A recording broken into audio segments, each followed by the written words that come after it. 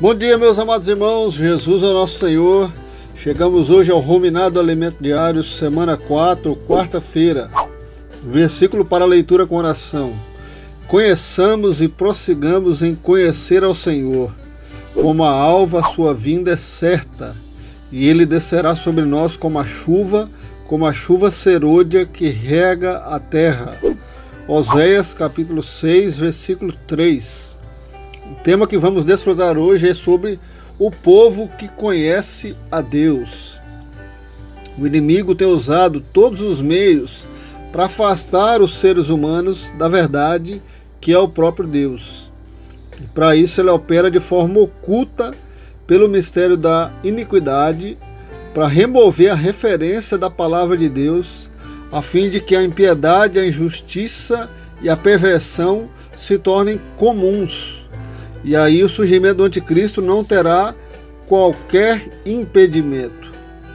Se você é um adulto, muito provavelmente Satanás não terá muito êxito em mudar sua mentalidade, porque você já tem uma visão clara, já tem uma decisão firme no seu coração, sua postura em relação à palavra de Deus.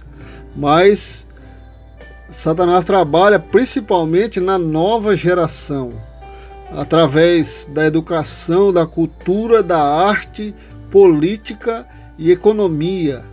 Ele age para mudar a mentalidade das crianças, dos adolescentes e dos jovens, que são vulneráveis a essas ações.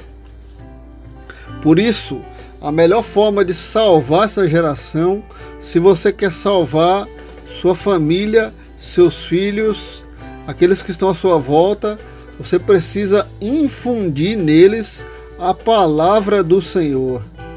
Precisamos estabelecer um firme fundamento da palavra de Deus. Não é apenas dar conselhos, mas ter a Bíblia como referência.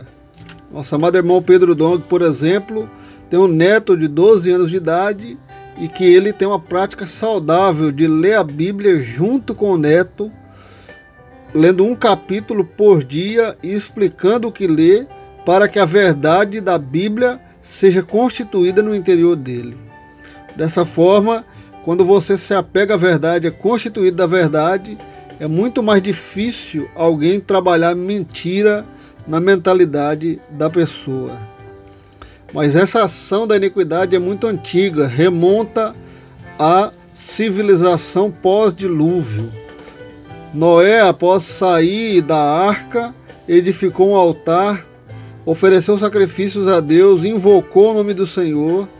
Esse início da civilização após o dilúvio foi muito positivo, porque Noé valorizou a conexão com Deus acima de todas as coisas e demonstrou obediência e adoração a Deus.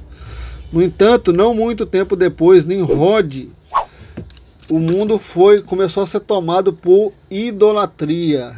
Quando Abraão nasceu, a terra já estava cheia de ídolos, que são aqueles que adoram, em lugar de adorar o único Deus vivo e verdadeiro, adoram ídolos criados pelos homens.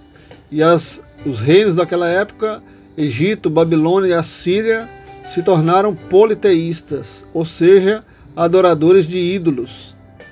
Eles já não tinham mais o conceito do Deus único e verdadeiro. No meio dessa situação toda, Deus chamou Abraão. O historiador Flávio Joséfo conta que ele estava insatisfeito com essa geração idólatra. Então Deus usou o povo de Israel de uma maneira totalmente diferente dessa civilização pós-dilúvio, chamando um povo para adorar esse único Deus vivo e verdadeiro e abrir o coração dele. Em Êxodo 6, 7. Eu sou o Senhor vosso Deus que vos tiro das cargas do Egito. Então as nações elas não conheciam esse único Deus, porque não tinha alguém que adorasse o Deus único, vivo e verdadeiro. Por isso que eu e você sejamos essas referências positivas. Nós adoremos a Deus, invoquemos o nome do Senhor, permitamos o Senhor trabalhar em nós. E ainda em Êxodo 19, 14 a 6, fala que o Senhor queria um povo de propriedade exclusiva dele. Eu e você fomos tirados do Egito para sermos povo de Deus. Eu e você somos povo de Deus. Louvado seja o nome do Senhor. Então, que nós possamos perceber isso. Nós somos chamados, escolhidos, separados para servir a Deus. Que nós possamos ser uma referência positiva de alguém que invoca o nome do Senhor, que se apega à palavra, que adora o Deus único e verdadeiro, como os Tessalonicenses. Louvado seja o Senhor. E que o nosso sentimento seja conforme nós lemos em Oséias 6,3 conhecer e prosseguir em conhecer ao Senhor. Que hoje o Senhor possa se revelar mais para mim e para você.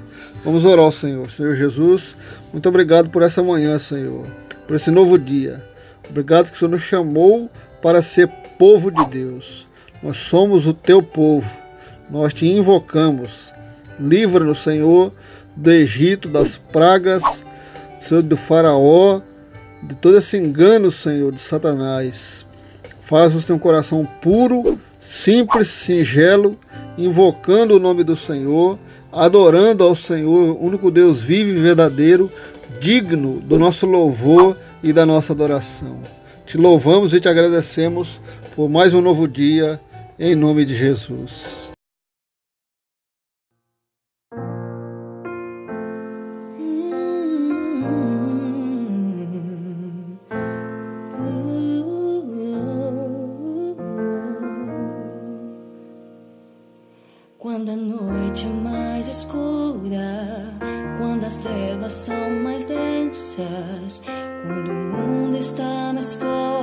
E tudo está incerto, cresce em nós a esperança, a aurora está mais perto, como sola das alturas.